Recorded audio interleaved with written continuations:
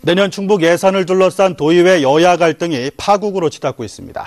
본회의 전날까지도 입장차를 좁히지 못한 건데 사상 초유의 준예산 체제가 초입깁니다. 김양일 기자입니다.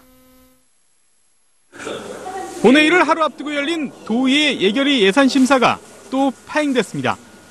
여야 도의원들은 오늘 하루에만 수차례 의원총회를 열고 따로 예산 심의까지 벌였지만 끝내 합의 도출에 실패했습니다. 새누리당 예결위원들은 무예 마스터십 예산을 되살리겠다고 제안했지만 새정치민주연합이 거부했습니다.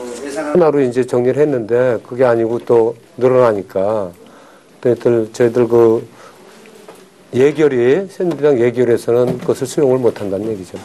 새정치민주연합은 최소한 세개 사업 예산은 더 살아나야 예산 작업에 참여하겠다고 맞서고 있습니다. 부의마스터십만 이렇게 다시 부활한다고 그래서 그것 때문에 우리가 의사 진행을 못하게 하고 의결을 못하게 했는데 지금 뭐 상황이 동일한데 그거 가지고 우리가 받을 수는 없죠. 이에 따라 사상 초유의 준예산 편성에 대한 우려도 높아지고 있습니다. 이런 가운데 누리과정 예산을 편성하지 않았다는 이유로 두 차례나 거부됐던 도교육청의 내년도 예산안 심사도 또다시 불이됐습니다. 내년 예산안 법정 처리 시한인 16일이 코앞이지만 이렇다 할 해법은 나오지 않고 있습니다. MBC 뉴스 김영일입니다.